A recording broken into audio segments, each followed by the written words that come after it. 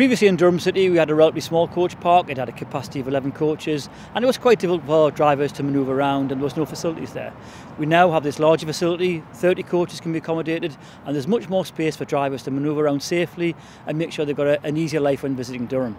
If you're a coach traveller, not just a driver, then actually it's exactly the same as it was before. You were picked up and dropped off in exactly the same location in Durham City.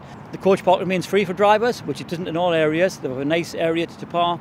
They can travel free into Durham on the park and ride service. They can use the facilities here, use the toilets. And also in the very near future, we'll actually have the facility for them to empty the chemical toilets on board.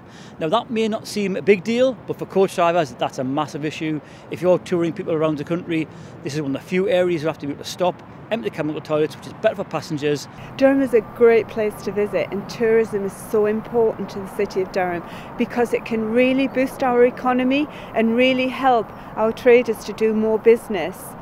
And that's why this coach park is so crucial.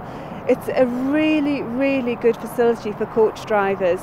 So we need that capacity because in the future we hope to be welcoming a lot more visitors to Durham City.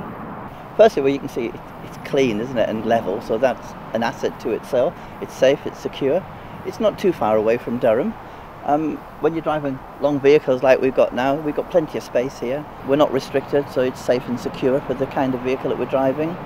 Um, we've got the park and ride system that we can operate to go in and out of Durham should we wish to. Uh, eventually, we're going to have our facilities for washing down and other facilities. So yeah, overall, it's um, it's a very good system, and it's certainly better than what we had in Durham itself.